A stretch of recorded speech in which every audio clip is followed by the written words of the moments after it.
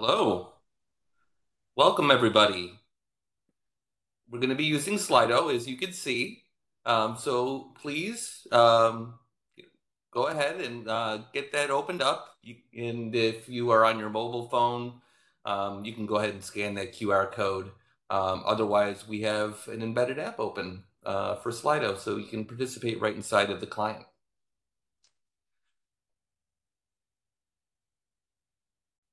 So yeah, this is the ever important question. If you could be any animal, what would you be? I already have some very nice results here. A lot of giraffes. I anticipated that. But mythosaur, I was not anticipating that. I was gonna I was gonna say my dog. He seems to have the life. we got some Mandalorian fans over here. Yeah. honey badger, yeah. You know, use some honey badgers. Border collie, that will wear you out. Liger. Its skills and magic. Awesome stuff. All right. Well, I think that's good. Switch over to the presentation here. I think that's what we're all really here for. Uh, welcome everybody to uh, the WebEx Calling Provisioning API overview.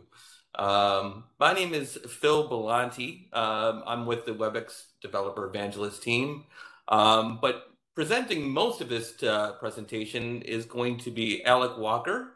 Uh, he is uh, with the WebEx calling team. Uh, Alec, do you want to introduce yourself?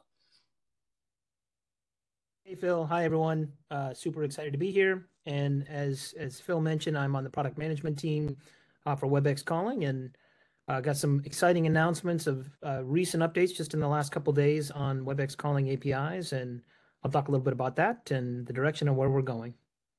Great, thanks, Alec. And uh, so, for today's webinar, we're first going to start out with some just quick news and updates for WebEx developers um, it's not going to be pertaining to WebEx calling. I'm going to save all of that goodness uh, for Alec's uh, section.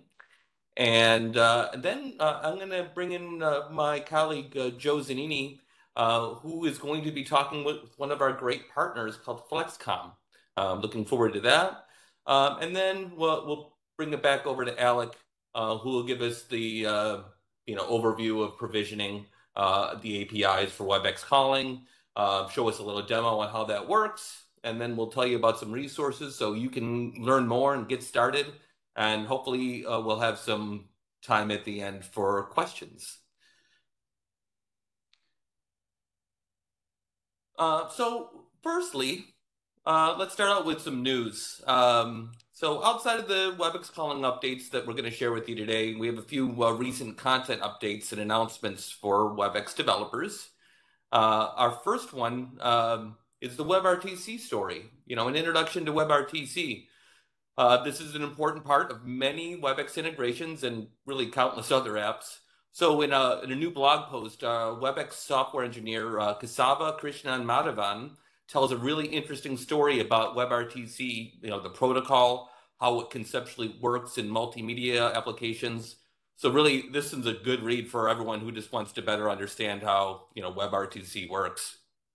Uh, but next, uh, we also have uh, enhanced accessibility with WebEx buttons and cards, um, and that's for WebEx messaging. So really, accessibility is a key aspect for creating inclusive and user-friendly experiences, um, you know, particularly inside of messaging. Um, so in another new article, uh, a software engineer, Urmit Chauhan, explains recent improvements on WebEx buttons and cards uh, and how it's made it easier for bot developers to provide delightful accessibility experiences right inside these cards. Um, so this includes redesigned focus styles, uh, improved hyperlinks within those cards, and there's also more options for actionable containers. Um, and these make uh, just better chatbot interactions. Um, so definitely uh, encourage you to check out that one. You know, additionally, um, oops, I'm sorry, I missed on that one. But additionally, uh, you know, one of the more popular uh, WebEx developer blog posts, you know, particularly for beginners or non-developers, Um, and this one's been recently updated here in 2023, and it's from from zero to WebEx chatbot in 15 minutes. So uh, this is one that I actually originally authored back in 2019. Uh, so it's probably been due for some updating. Uh, but in this one, we take you step by step quickly, quickly to deploy a sample messaging application for a bot, uh, really within minutes. Uh, so it provides a structure for building your own customized bot uh, when you're all said and done. So you know, lots of non-developer folks have uh, built their first you know messaging bot using these instructions. So if you've been ever thinking about building one, you know this is a really good way to start hitting the ground running. Um, so you can build a messaging bot. And and you can find all of those uh, at uh, developer.webex.com slash blog. Finally, uh, I think everybody should start getting ready for WebEx One 2023. Uh, this one's on October 24th to the 26th, uh, and it's going to be live at the Anaheim, California Marriott. Um, so you can join us live or virtually um, in WebEx One. Uh, it's a hybrid event, um, so you definitely don't want to miss out there, whichever way you decide to join. Uh, we're going to unveil a bunch of new innovations in hybrid work, customer experiences, um, but customers are actually going to be there to kind of share ideas, uh, collaborate on projects, um, you know, and further build out their professional networks. It's a great place to do so. Uh, WebEx One also offers a bunch of training sessions and learning tracks. Uh, so you can register today at webx1.com, and we hope to see you all there.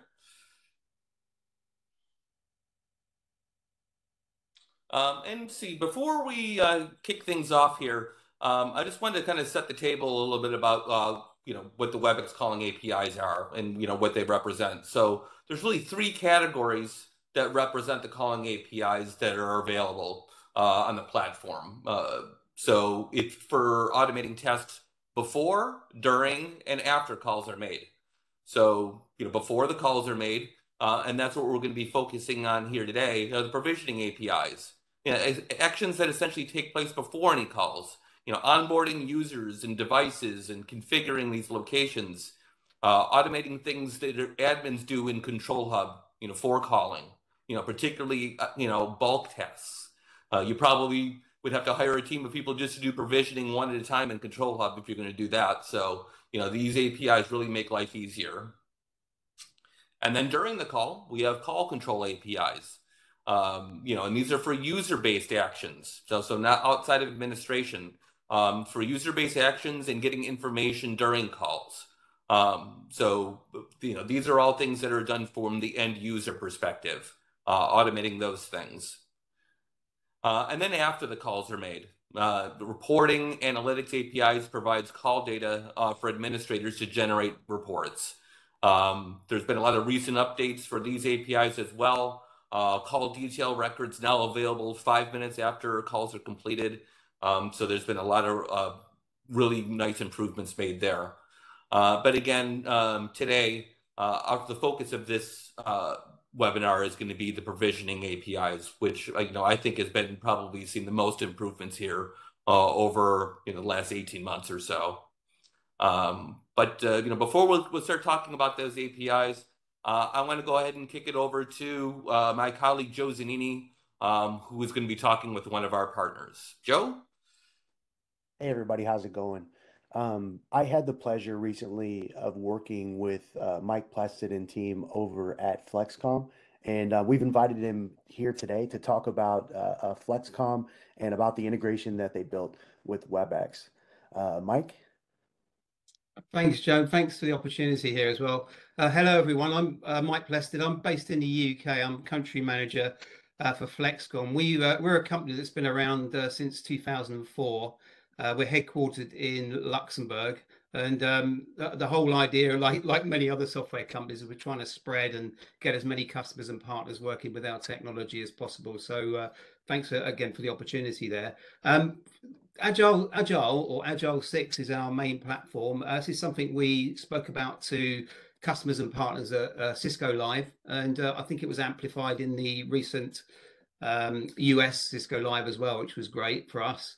Um, this is really a system that is used for providing provisioning, very simplified provisioning, management, and analysis of Cisco and Microsoft UCC environments. And our system operates in a cloud or it operates on premise. Uh, it's quite quite flexible. Um, it's a multi-tenant platform as well, so it's ideal for uh, partners to um, provide new UC services. That's where, where we're pushing at the moment, and also for customers to provide um, you know, site to site administration and delegate delegation as well, site to site as well. It's something that Microsoft themselves can't do, so they're very interested in our technology as well. Um, the uh, the whole goal of this is to minimize human error you know, uh, by by using as much automation as possible. Uh, and we'll we'll talk about APIs in a second with Joe there, but we we we use all the APIs we can possibly get from both Cisco, Microsoft, and, and any other partner that we would like to work with as well. Uh, from from a software perspective, um, the, one of the key things I just wanted to point out about this is the fact that the human the the, the, the human error elimination and the the um, automation process inside the app provides a time saving of 85%, we reckon. Uh, we get this feedback from several customers now, so that's quite a key point, uh, rather than trying to do everything manually. And the um, the other thing is the analytics that we provide as well are, are, are, set up so that you can actually save about 30% of your business costs as well. So there's a lot of customers we have are really pleased with the fact they can keep their communication uh, bills as low as possible as well. Um, one key point I'd like to say, it's a quite a, quite a unique point I think for this project is we've got a homogeneous numbering plan system so that you, what are you using Cisco or Microsoft, you can have phones on your telephony network that, that go right across the two, two, two vendors technologies, right? So you, you can't have the same same phone on on on on Cisco or Microsoft. You can just have a homogeneous plan where you go from one to hundred in terms of your telephone numbers. That's quite cool. I think we get that good feedback from people as well. Um, could you switch, switch to the next slide, please? Now this one, this is this is something that um, uh, I, I, show to a lot of technical people. This is where our Agile server sits in the middle of all the different types of servers you can get from both Cisco, WebEx, or uh, Microsoft. And we also interface with third parties as well. We've got a lot of people using SAP and ServiceNow, for example. So they, they've managed to integrate uh, our, our product and connect to our product as well. Uh, so we can you know, integrate the two things together. Uh, but we use um, uh, all, all, the different protocols from Cisco, um, S, SOAP, REST services, a, and the APIs from both Cisco and Microsoft to actually uh, integrate to it. And this this this provides a you know a great a great service to both customers and partners using this as well and selling this. Uh, it gives a good story in terms of um, you know how, how you can use our app uh, to, to, to really create new business opportunities or to make your life in the uh, in the environment the customer environment easier um, joe uh, that, uh, there's a lot more to cover but um, i think that's enough for now as an overview if that's okay. Sure sure. Thank you for that. Um, so you know our audience is, is developer centric and, and a lot of us are interested in the apis what was uh, uh, your team's feedback on working with the webex rest apis I, I, yeah, I spoke to the developers about this because it's quite good to get obviously get their feedback from a company perspective. But I, I, would say from a Cisco WebEx API perspective, I'd say very well documented, easy to access was one of the key points that I got back. Um, there were very few changes uh, that are made to the APIs, you know, and and they're always correct as well. So it's much easier for us to get to get new software releases out there, which is which is what our our uh, customer base are looking for. Very easy to access the APIs and very stable when released. You know, so we're very pleased with what we get. I'd like to compare that with Microsoft Graph APIs as well, just you know, just to, just to side by side. Their documentation is not always up to date, so we have a lot of issues with um, with, with, with trying to understand or you know, what's new, what's not new. Uh, the APIs keep changing as well, and I hear this from many other vendors that are, that are creating software. The APIs keep changing, so that means every time the API changes, you have to keep changing your product. All right, so that's something we don't see from the Cisco side. And we'd also, so the APIs we also see as fairly unstable uh, when they're released as well. So there's a lot of um, a lot of issues on on the Microsoft side, I would say, Joe. That's great to hear. That's great to hear that we're staying on top of it.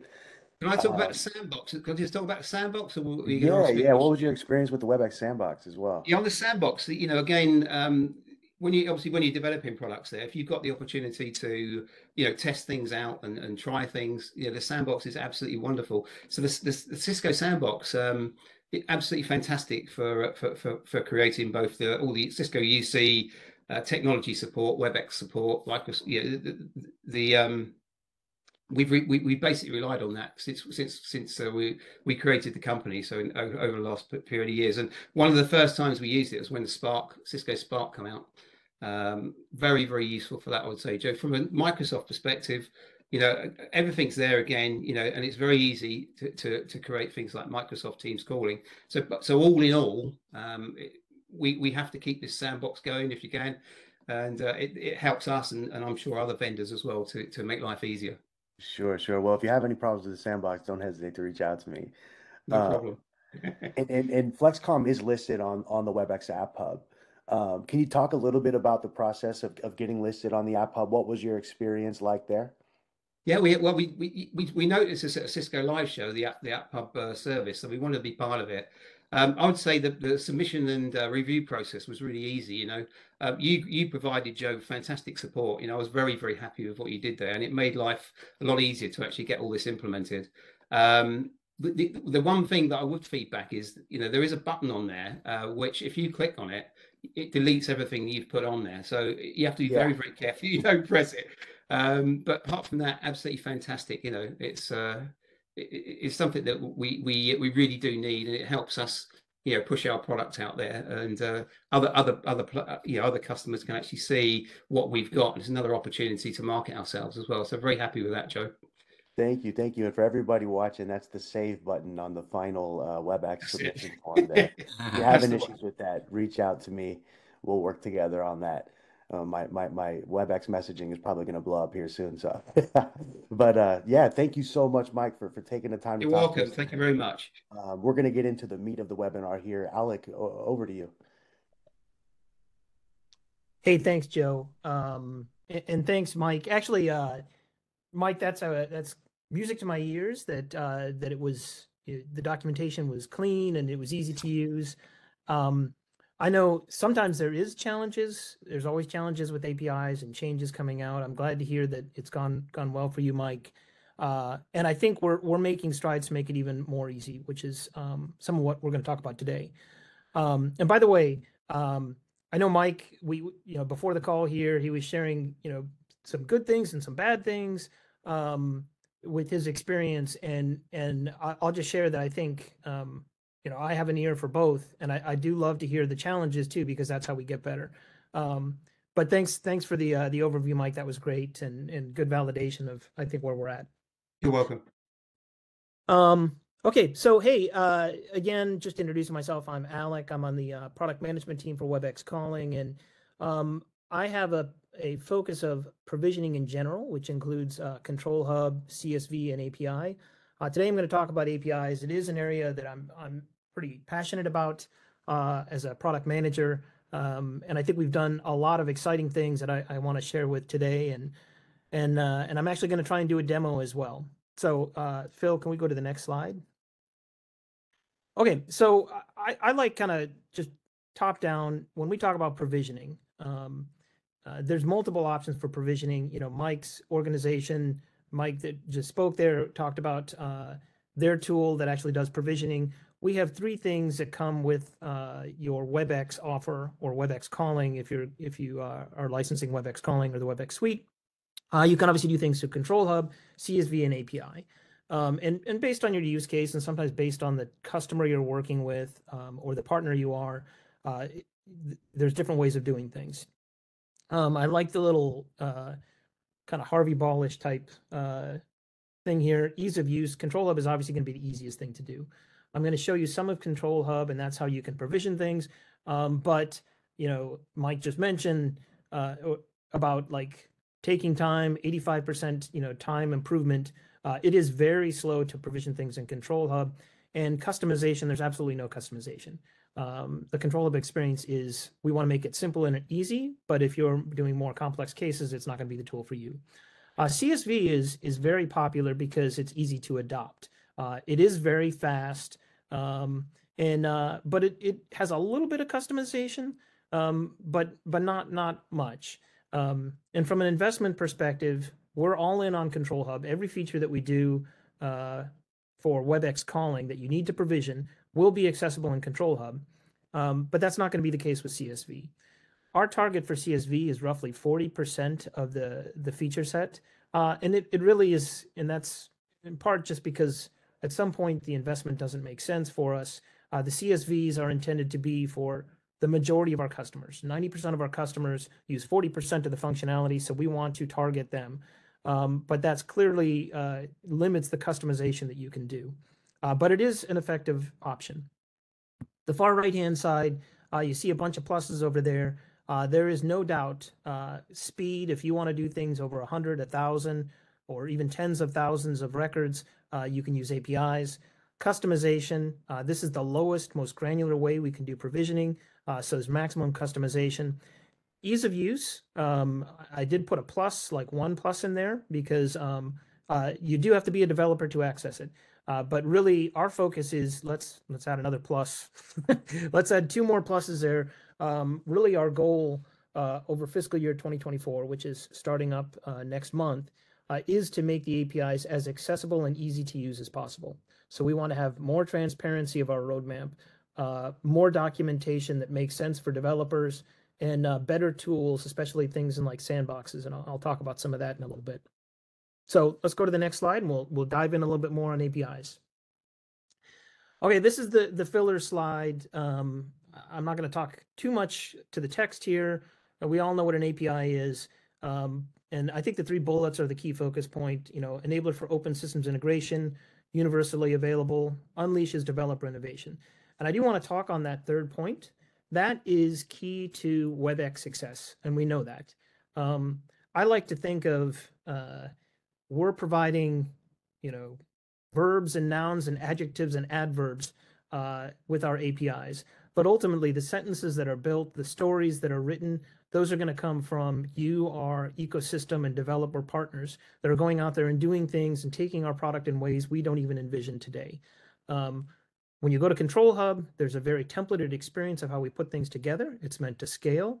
It's meant to scale to the way that we think our customers want their business to work.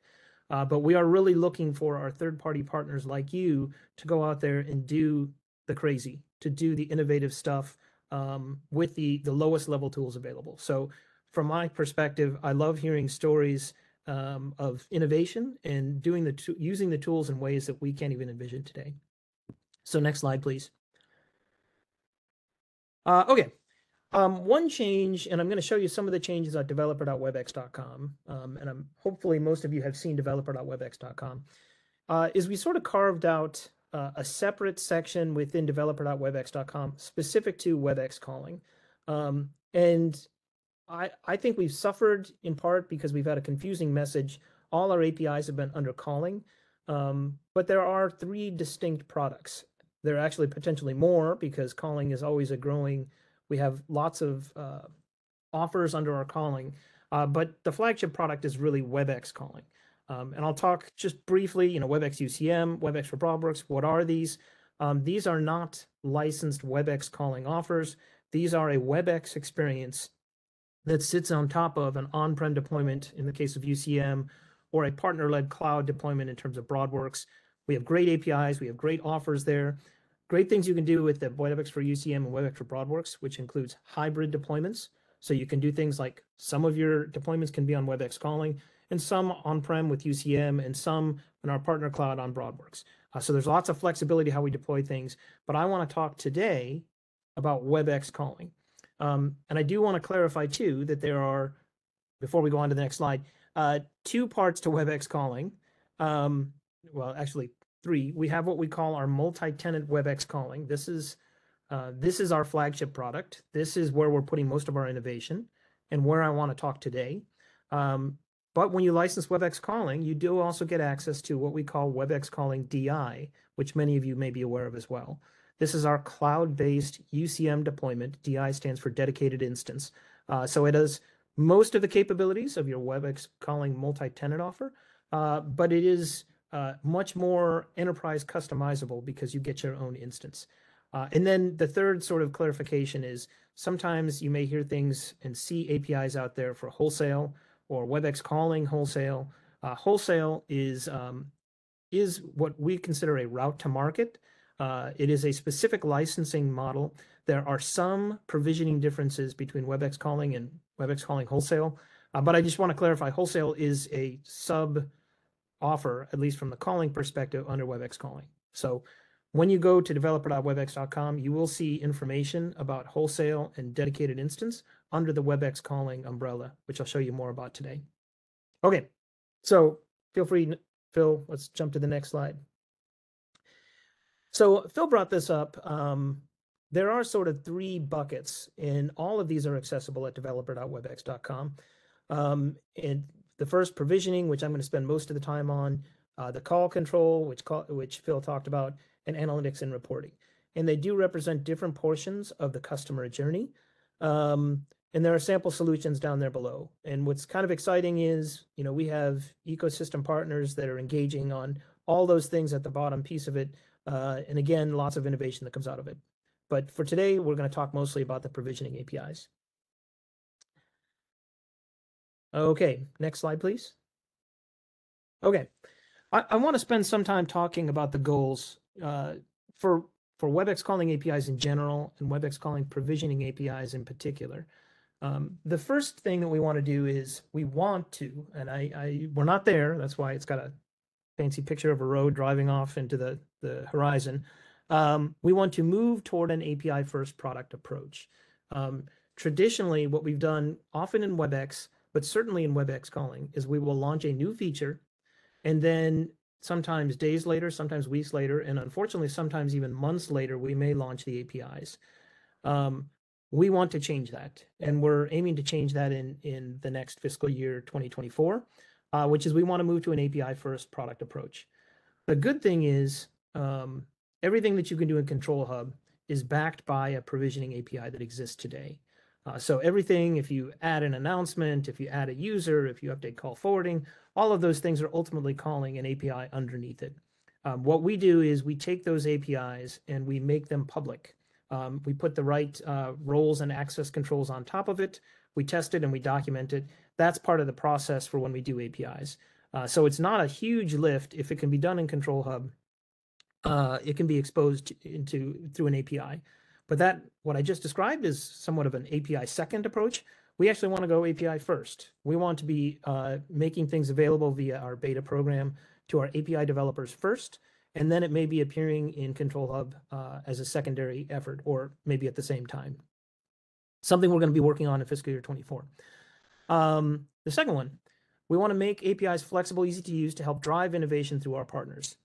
So uh, Mike started this call saying how you know it was easy to document and there was stability with the APIs. We want to get even better with that. We want to make these tools as easy to use as possible. So we're going to be investing more in our beta program. We're going to be investing more in our sandbox program, in our documentation. All of this with the goal, working very closely with you know Phil and Adam and Joe to make sure that we're getting the message out uh, to you, our partners, and and um, and our ecosystem partners to develop on top of it. And we want to make it as easy as possible. Um, and that's a key goal for us uh, in the next 12 months. And then third, in this, uh, I sort of referenced this earlier, everything that you can do in Control Hub, we want to make available via APIs. Uh, so if you can do it in Control Hub, there should be an API underneath it. And when you put it into APIs, that goes to that 85% that was referenced earlier. We want to take that human error out of things and put it into an API. Not only do you get the the uh, quality improvements, but you get the scalability so you can do things across hundreds or thousands of records uh, with an API. All right, next slide, please.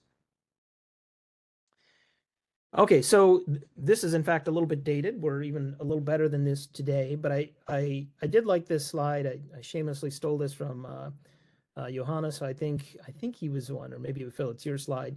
Um, yeah, but this one's from a couple Cisco lives ago. Yep.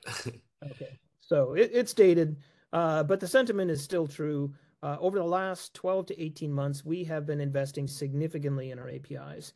And um, uh, if you if there's a perception that we are still on the left hand side, um, that's fair because uh, for several months after the launch of WebEx calling, we did not have many APIs. Uh, we recognize this and we've been doubling down on our API strategy for the last 18 months. Uh, and most of what you can do through Control Hub, and I, I'm careful to say most, it's not all, um, uh, is uh, most of what you can do through Control Hub. There should be an API available today. Uh, there are some notable gaps on there. Um, for example, uh, we've got some work we still need to do on numbers and uh, number provisioning. Um, and we're just about to launch. It's been in beta for several months now. Uh, some device uh, WebEx calling device uh, activations. Those are are very close to going GA in the next week or so. Uh, and Charles Mather, who is uh, product manager, he's on the call here. Um, he's he is going to be championing this, and he's been doing a great job of of adding more and more features. And and if time permitting, maybe he can even spend just a couple minutes talking about the roadmap of where we're going. Uh, so next slide, please. Um, okay, I, I just want to you know showcase you know a few hero slides. I think uh, maybe it was Phil that referenced this earlier. Uh, we do have uh, reports APIs available, so this goes to the reporting side, not the provisioning side. Uh, we've launched a lot with the reports APIs.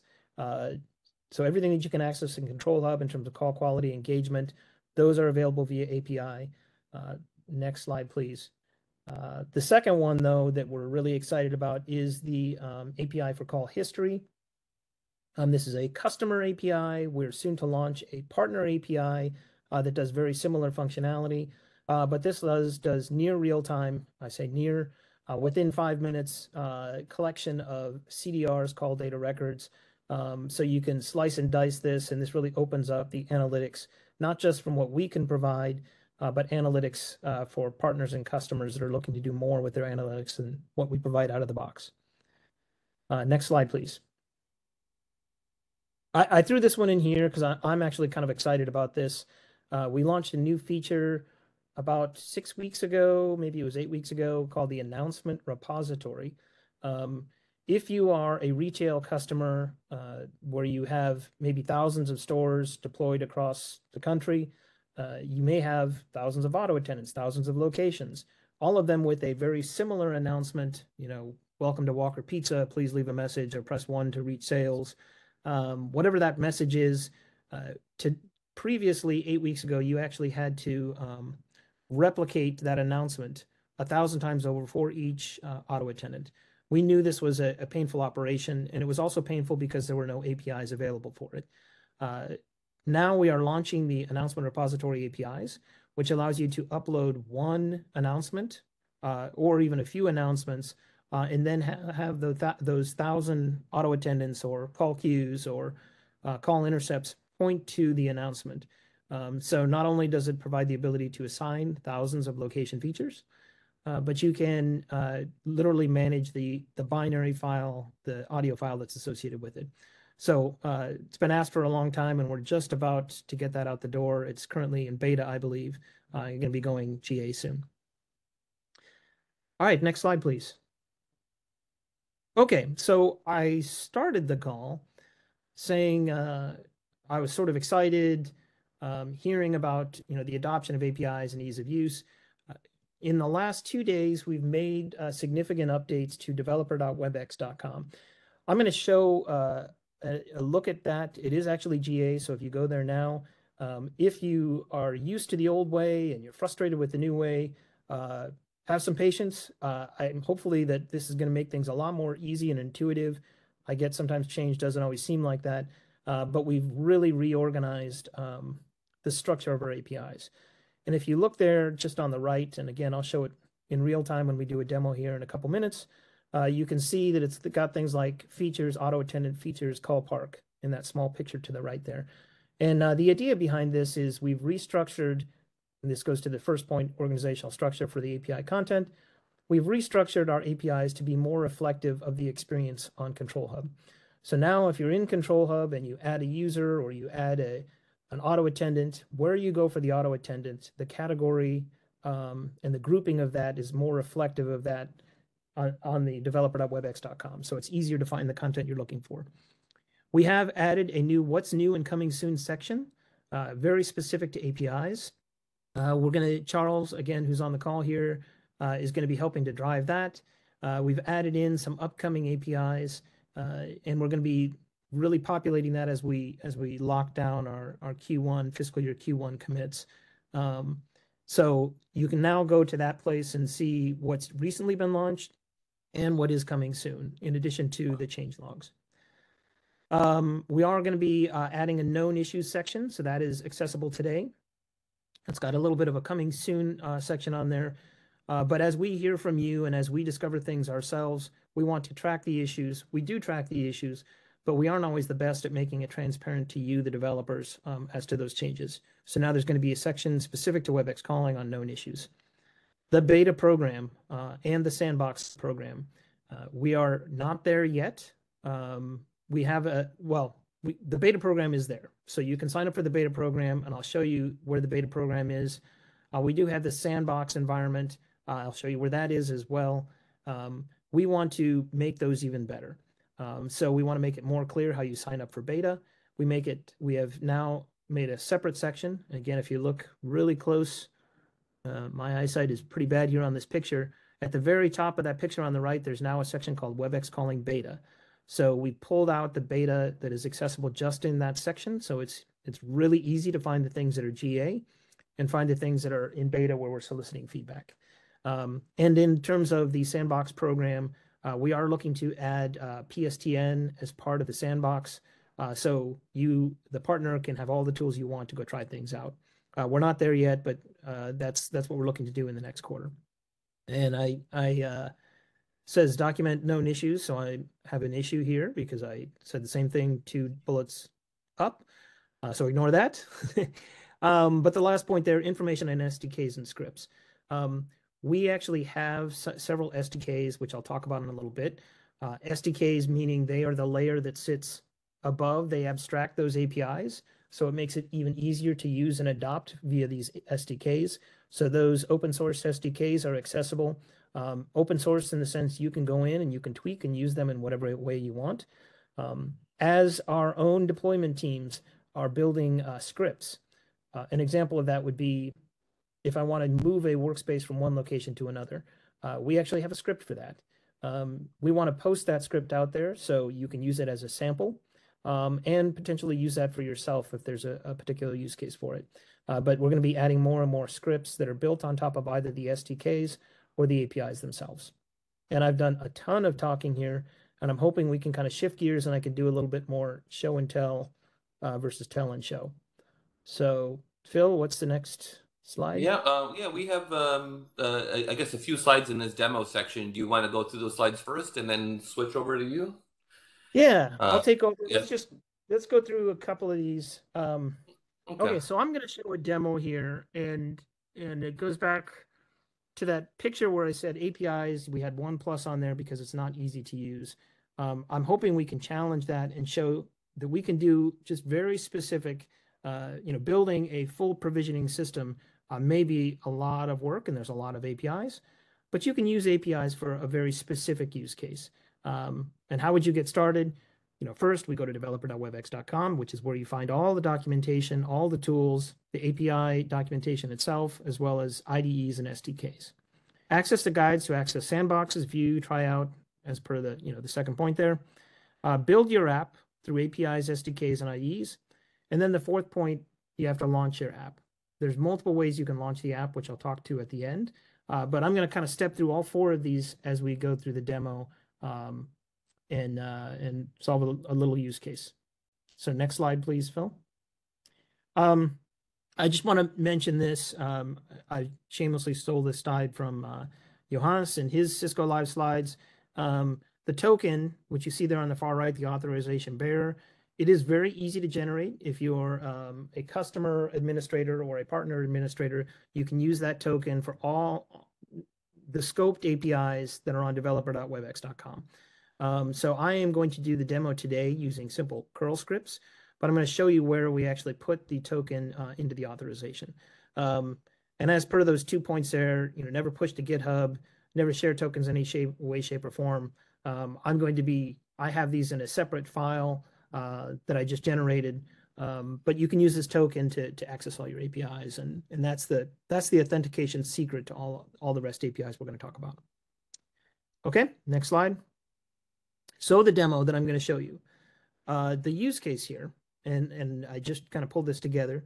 Uh, we have a 10 person organization uh, that are about to go on an extended break. Um, and how do you go in? They want to take all of their calls and forward all calls um, to the number 571 555 1212. And let's just say that's a, a voicemail, and maybe it's a, a after hours auto answering system. Um, so how do we do that for 10 users? And I picked 10 just so we could, you know, in the interest of time, it could be 100, it could be 1,000. Uh, we could still get it done in a matter of minutes. Uh, so the implementation here is we're going to identify the individual actions in Control Hub, identify the matching APIs in developer.webex.com, and with the new uh, category structure in developer.webex.com, it should be easier than ever to pinpoint those APIs that we need to use, and then implement and test. In this case, on the far right-hand side, we see the little green boxes. Um, what I am going to use ultimately uh, in demo here today is the uh, the People API. Uh, and I, just a, a moment on the People API. I think everybody knows the People API is the fundamental API for all provisioning activities across WebEx, not just WebEx calling. Um, so people, I, think people is one a, a little bit dated term, uh, but this is really the user API. So when you're in Control Hub and you're accessing users, you're licensing users, you're accessing services to users, the first thing you're going to need is that list of users. Um, so that's what we're going to use the People API is to get all the 10 users in the organization. And then we'll find the commensurate call forwarding API um, in Control Hub first, and then map it to the API that we use. And then we'll simply loop through all 10 users and update the call forwarding the um, the call forwarding information. So with that, um, I think I'm going to take over share, Phil. Yep, yep, go for it. I'm going to start by sharing my um,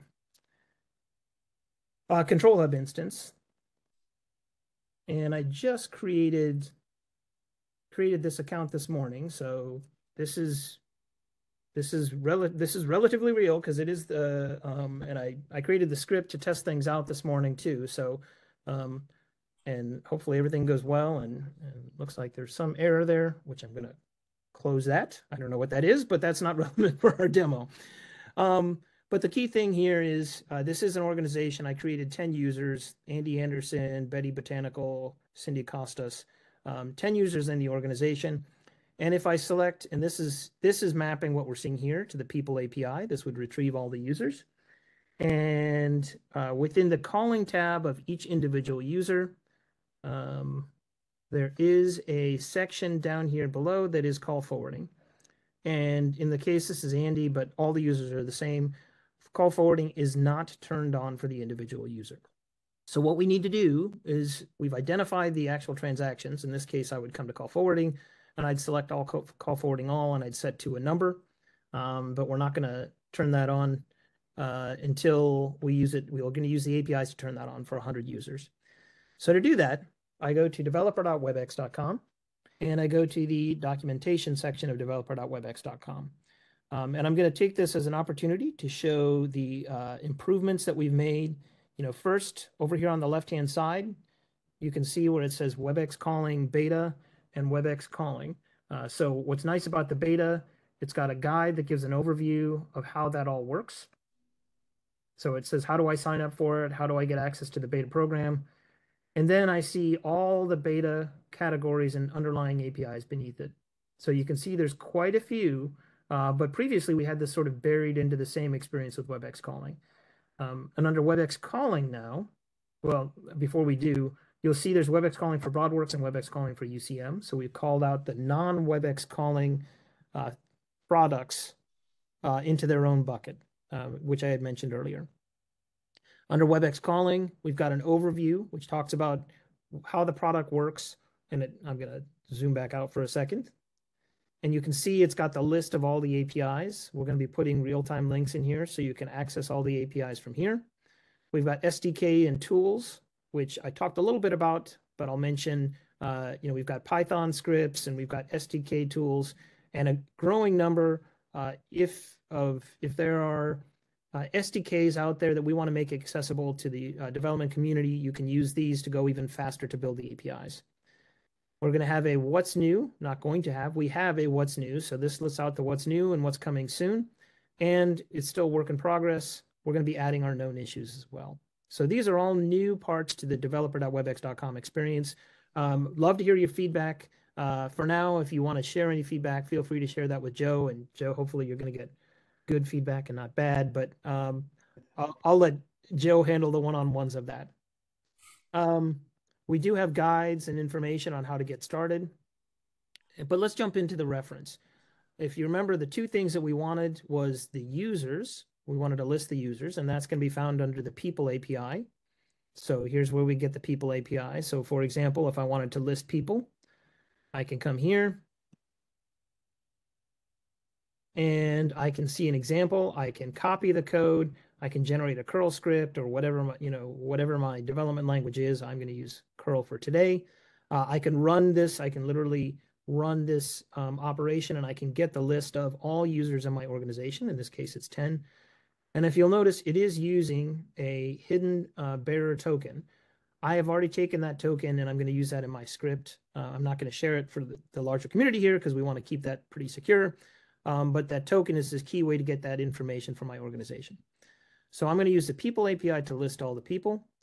And then under user call settings, consistent with our direction of what we're doing in Control Hub, you can see there is a read call forwarding and then configure call forwarding. The call forwarding configuration in particular is what we're going to focus on here uh, in the next couple minutes.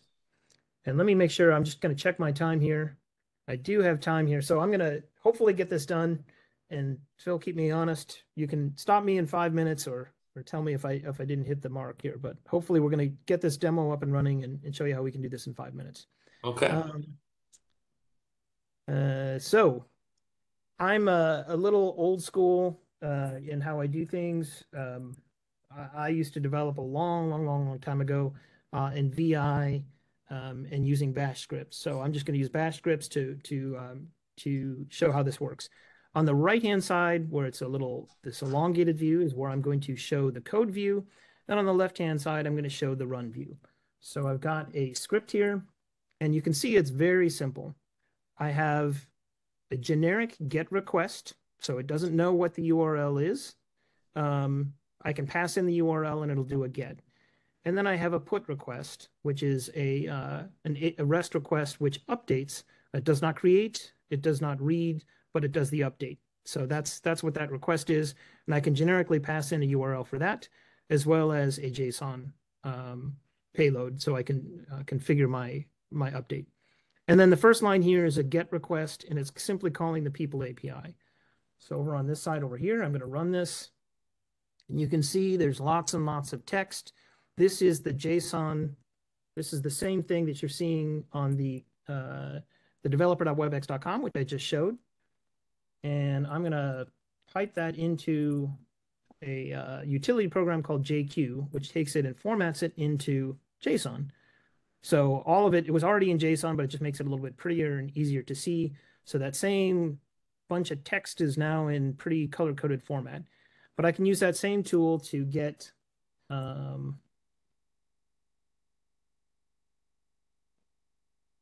to show the display name of all the users. And there's my 10 users, Andy Anderson and Betty Botanical. Um, and for the purposes of this demo, I'm going to actually get the ID. So once I'm going to use this ID to um, to populate uh, the uh, the call control API to update the call forwarding. So I'm going to come back to my script over here on the right.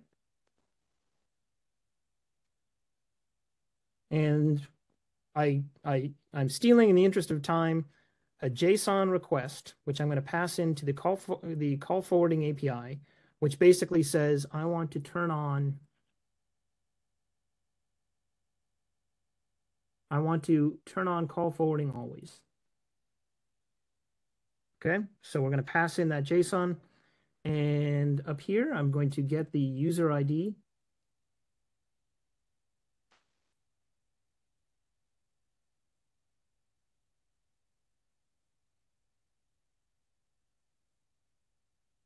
So I'm going to comment this out and just see if this works.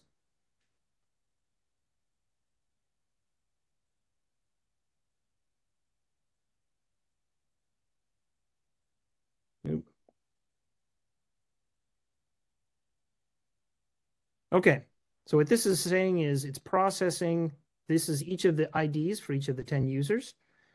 And if you scroll down here, I'm going to loop through and I'm processing each user. And now I'm going to put the request. I'm going to make this call here to update the call forwarding API for each user. Now what this is doing is each individually, it's looping through each one and it's simply updating that one field um, with call forwarding. Now if I go to my control hub and I refresh my user view, Oh, and I got to reshare my my call forwarding my uh, control hub screen. But you can see Andy Anderson calling.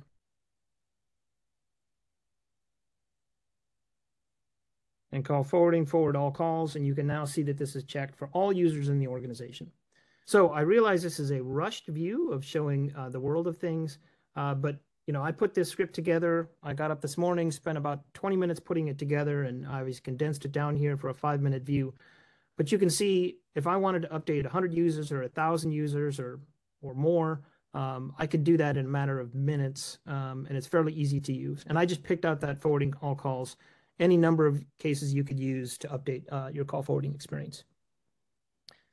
So I'll stop uh, stop sharing, and Phil, why don't you go back to the slides, and we'll wrap it up. And I, you got some final comments after I uh, say a few things.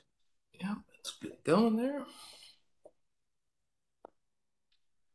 Okay. So, so we'll go over the next slide yeah, here. Yeah, I'll just talk on this one, and then and then Phil, I'll turn it over to you. Okay. Um, this is one that I'm really hoping we're going to be, you know, religious about. We're going to keep this up to date. Um, we're talking, you know, what is new. So we're going to try and be very specific when something is launched. Uh, there is an API change log. This is more than the API change log because this is more at a functional level. This is covering new features that come out so you're made aware of. Uh, and then it's got the coming soon so you can go to the API. We usually keep the coming soon up to date um, for uh, an upcoming quarter. So usually three, maybe four months out. Um, and uh, Charles will be managing that. Uh, and then the last part that we're we're I, I want to say excited about is uh, we really want to make it be as transparent as possible. So as you identify issues, as we identify issues, until we get a resolution, we're going to be uh, keeping monitoring all of that in our known issues log. And uh, so that's launched today. Uh, the content underneath underneath it is going to take some time to get fully fleshed out, uh, but you know this should be one of the areas that you bookmark as you you're looking for changes on on developer.webex.com. So I'm all done. Phil, if you want to take No, us home and then go to questions. great. Um, it's really good demo, great content, Alec. Thank you. Um, and uh, I think we, you know, made mention this a few times, but you know, essentially when we talk about sandboxes, you know, all developers can obtain their very own WebEx organization to administer. Um, so it, it's actually a pretty generous offer. You know, you get to have, you know, t- up to 10 licensed users on this, you know, WebEx organization that, that's fully licensed. So now you don't have to worry about asking your own administrator, "Hey, can I start building on top of our own organization or or you know, or purchasing your own licenses?" You know, these are good indefinitely. You know, so as long as you keep developing on it, you know, you can keep using the sandbox. Um, some of the improvements that we want to make is to have these maybe you know, you know, easier uh, to configure for WebEx calling because right now you know, it is a WebEx organization. It's just not configured for WebEx calling yet. Um, so these are some of the improvements we're trying to look to, you know, to you know to be better at. Um, but you know, besides that, uh, there's lots of other things you can start digging into. Uh, we have a great overview guide of all the WebEx calling APIs um, in our updated documentation. Uh, there's also a really nice Postman collection for all the calling APIs uh, and you can find that in our uh, official WebEx GitHub repository. Um, and you know, uh, you heard his name a few times now. Our esteemed colleague Johannes uh, created a great calling SDK for Python. Uh, this SDK makes working with the API calls and webhooks events uh, much much easier. I encourage everybody to go check that out. Um, and then there's also a lot of great how-to videos available uh, on our WebEx developer vidcast collection. You know, this is where WebEx engineers show certain how certain features work, you know, and help provide strategies for your integration apps. Um, but uh, there's a lot of other uh, helpful places you can uh, you can find resources for. Again, our you know the developer.webex.com, um, at webexdevs on Twitter, uh, or x.com is what it's called nowadays. Uh, and uh, again, our official GitHub repository is github.com slash webex. Um, there's also additional frameworks and samples available in our curated repo uh, from our community. Uh, so this is like maintained uh, by our community uh, partners, um, and uh, you know, it, you know, your goal should be always to you know to try to get your apps ultimately listed on our WebEx App Hub, and this is where you can share your applications with the the greater uh, WebEx community. You know, potentially millions of other users uh, can find your integration in there and start using your service. Uh, uh, my colleague Joe Zanini, who was uh, interviewing uh, our partner earlier, um, he is our is our guru for helping out partners getting their applications listed. So ultimately, if you want to get that going, you can contact us, um, and Joe will probably be the one to help you out there. Um, and I want to do one more last Slido here um, just to kind of wrap things up, you know, uh, what potential benefits of the provisioning APIs uh, stand out to you uh, the most for your organization?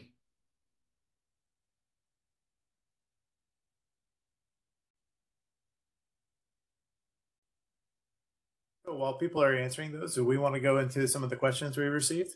Yeah, that sounds like a good idea. So the first one that came through was last time I checked with the WX ADM library, there wasn't a method to add a phone number to a new user. So provisioning a user in Control Hub with calling licenses would not work. Has this changed?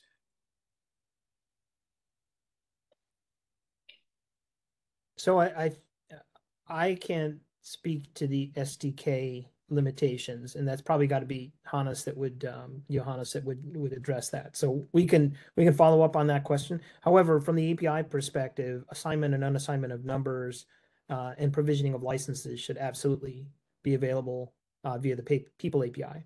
So um, I can't speak for the SDK, but the API should definitely support that capability. Thank you. Uh, the next one was a question on the, the detailed call history API and explaining uh, what the one call per five minute rate means. I, I don't think it's I'm not aware that it's one call per five minutes. It's it is saying that it may take up to five minutes for the data to be propagated down and made accessible to the API. If that if that's the question. Um, and I don't think it's a hard five minutes. I think it's as much as five minutes. So I make a phone call, and then you know, 30 seconds later, that call may not be available on the API. It, but within five minutes, it will be there. If there's other limitations around five minutes, I'm unaware of that, but I probably defer that to the the analytics product manager. Let's see, we've got um, and how many people can we update before you get a 429? Is there a specific guidance on that? I don't have a number. I, am laughing because I don't have a number. I can make one up. Four? No, I, I don't know what is. Uh, um, I do know we'll, we'll, have to follow up on that. I, I will share that I think there are going to be some rate limits on specific APIs. Know, the People API is one of our more um, weighty APIs. It touches multiple parts of the system, so that one is going to have more um, more rate limits than other APIs. Uh, so it's not going to be universally. If I said the number was 100 or 1,000, um, it, it's going to depend on the API. But I, would probably have to follow up specifically on what the, the rate limit is, if there is one on the People API. Yeah, no, each service has its own particular rate limits depending on the, the load. Yeah, and I think sometimes um, those numbers can be dynamic. Um, so if there's, you know, if everybody's hammering one API, um, you know, the rate limiting might actually increase. Yeah, and you can read more about the uh, the rate limits on our API basics page uh, on the developer portal. All right, I think we are at time. Okay. That's great. Well, thank you everybody for joining to today's webinar um, and participating in the Slido. Um, I hope you've um, you know got some good information out of this and uh, um, you have some uh, you know actionable things you can go check out over on the developer portal and our GitHub. Um, but uh, do stay tuned. We're going to be having uh, more webinars uh, coming up next month. Um, so uh, you can always check back to our webinars page. And also you can um, find the recording for this webinar uh, that'll be up here uh, shortly thereafter. And with that, we thank you very much. Have a great day.